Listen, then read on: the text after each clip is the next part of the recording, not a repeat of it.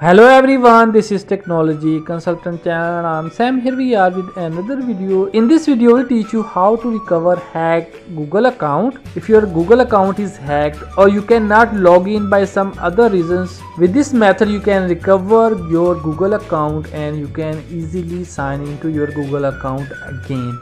For this one, you have to open Gmail.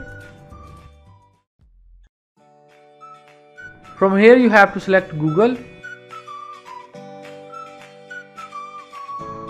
Now here you have to provide the Google account that you want to recover.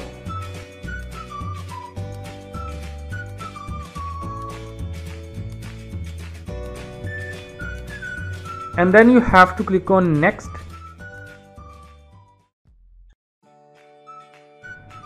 Now here it will ask you to provide the password. You have to click on forget password.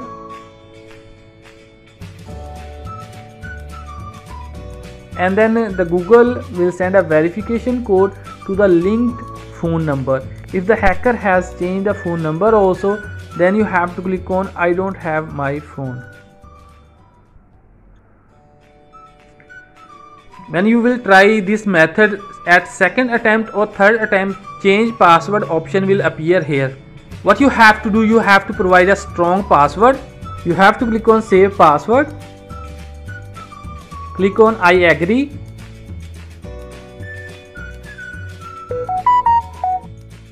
here you can see confirmation your Google account was recovered successfully now you have to go to your Google account settings change your Google account phone number and you have to enable two-step verification so that nobody can hack your Google account again. Don't forget to like this video and subscribe our channel for more useful videos.